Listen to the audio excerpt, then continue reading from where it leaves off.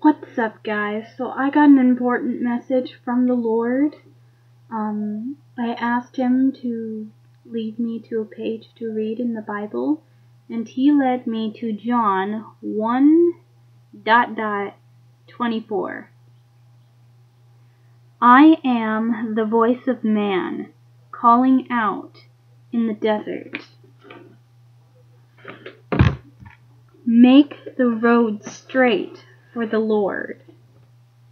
In the group of Jews who who were sent there were some Pharisees. They said to John, You say you are not Christ. You say you are not Elijah or the prophet. Then why do you baptize people? John answered, I baptize people with water, but there is one here with you that you don't know. He is the one who comes after me. I am not good enough to untie the strings of his sandals. This all happened at Ben, ben Bethany on the other side of the Jordan River. This is where John was baptizing people.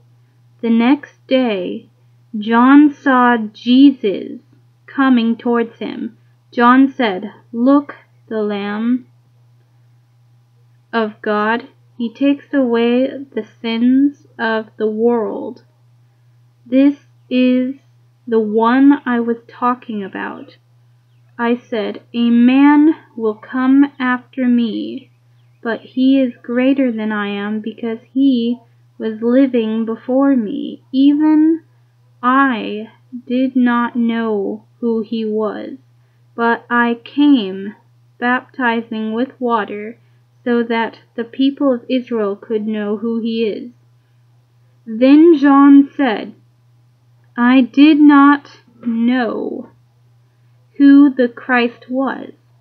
But God sent me to baptize with water, and God told me, You will see the Spirit come down and rest on man.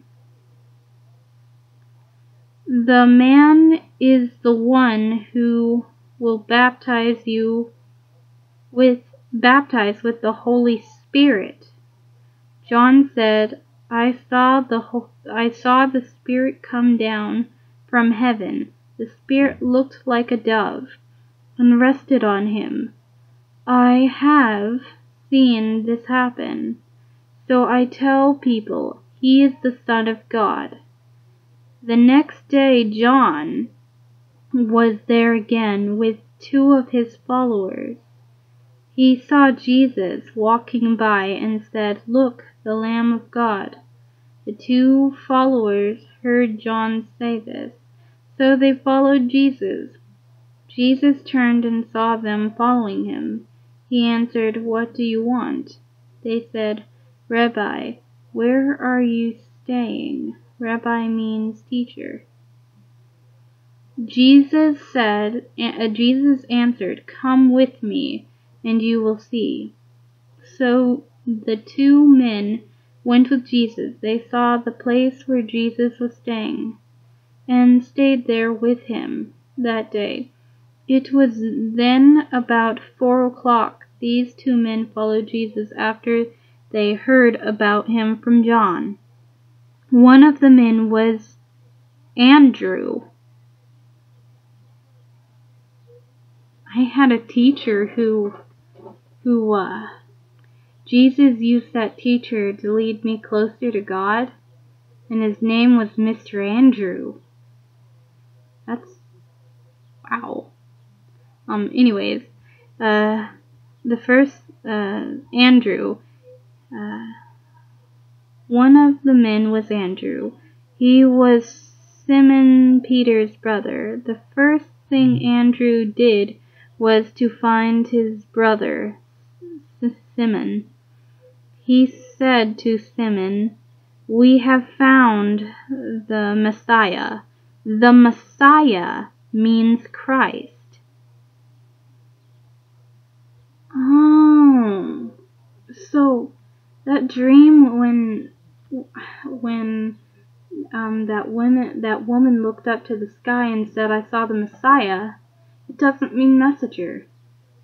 It means Christ. Saw the Messiah. Saw Christ. Jesus looked at Simon and said, You are Simon, son of John. You will be called Cephas. Cephas means Peter. Then next day, Jesus decided to go to Galilee.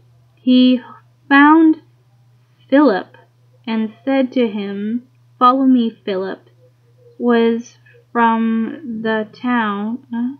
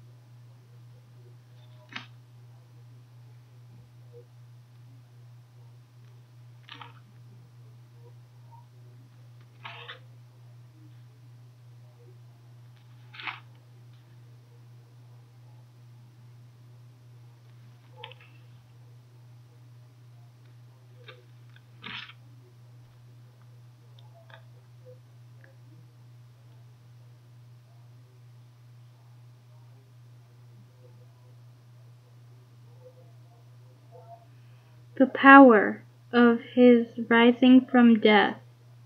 I want to sh- I want to share in Christ's sufferings and become like him in his death. If I have those things, then I have hope that I myself will be raised from death. I do not mean that I already as God wants me to be, I have not yet reached that goal, but I continue trying to reach it and to make it mine. Christ wants me to do that. That is the reason Christ made me his. Brothers, I know that I have not yet reached that goal, but there is one thing I always do. I forget the things that are past. I try as hard as I can to reach the goal that is before me. I keep trying to reach the goal and get the prize. That prize is mine because God called called me through Christ to the life above all of us who have grown spiritually to be mature should think this way too. And if there are things you do not agree with, God will make them clear to you. But we should continue following the truth we already have. Brothers, all of you should try to follow my example and, and to copy those who live the way we showed you. Many people like uh, live like enemies of the cross of Christ. I have often told you about them and it makes me cry to tell you about them now. The way they live is leading them to destruction. Instead of serving God, they do whatever their bodies want. Flesh, their bodies uh, want. They do shameful things and they are proud of it. They think only about earthly things, but our homeland is in heaven, and we are waiting for our Savior, for uh, the Lord Jesus Christ to come from heaven. He will change our simple bodies and make them like his own glorious body. Christ can do this by his power. With that power, he is able to rule all things. My dear brothers, I love you and want to see you. You bring me joy and make me proud of you. Continue following the Lord as I have told you. I ask Idua and Syntyche to agree in the Lord, and because you serve faithfully with me, my friend, I ask you to help these women to do this. Uh, they served with me in telling people the good news. They served together with Clement and others who worked with me. Their names are written in the book of life. Be full of joy in the Lord always. I will say again, be full of joy. Let all men see that you are gentle and kind. The Lord is coming soon. Do not worry about anything, but pray and ask God for everything you need. And when you pray, always give thanks, and God's peace will keep your hearts and minds in Christ Jesus. The peace that God gives is so great we cannot understand it. Brothers, continue to think about the things that are good and worthy of praise. Think about the things that are true and honorable and right and pure and beautiful and respected and do what you learned and received from me. Do what I told you and what you saw me do. And the Lord uh, and the God who gives peace will be with you. I am very happy in the Lord that you have shown your care for me again. You continued to care about me, but there was no way for you to show it. I am telling you this because it is not because I need anything. I have learned to be satisfied with the things I have and with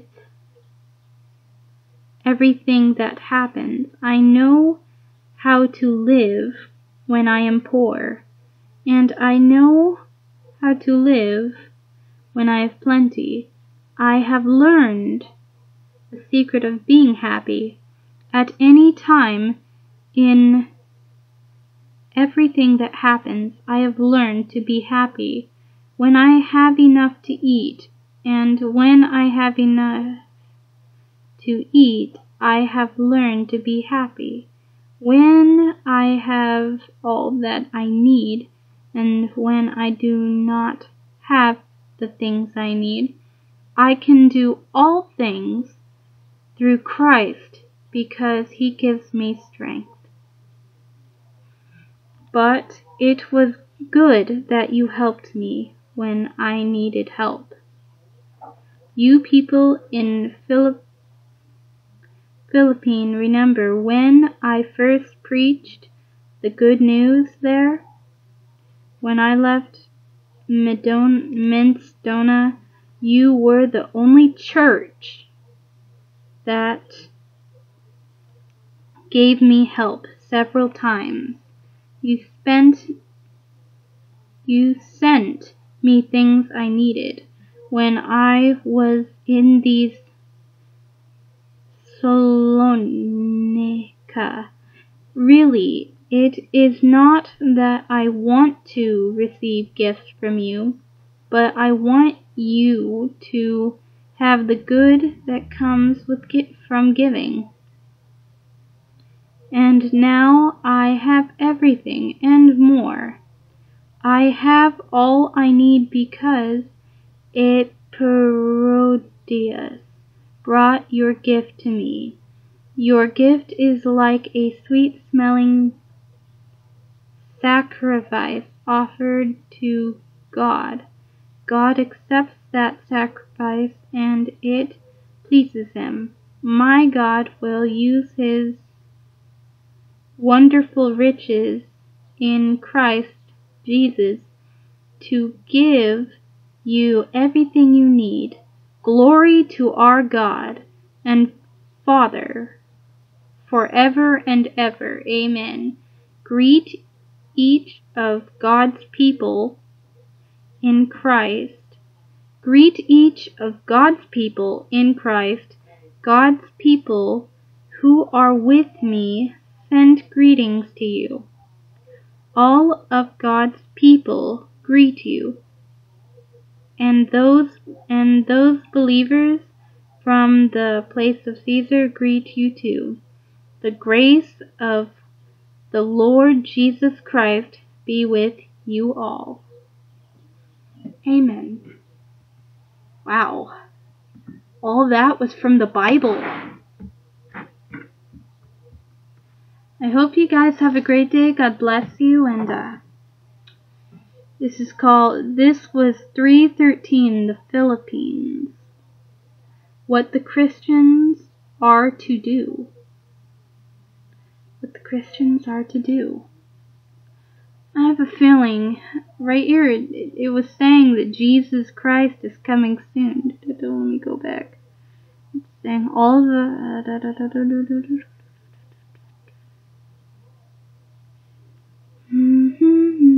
Hold on one second. I'm looking for it.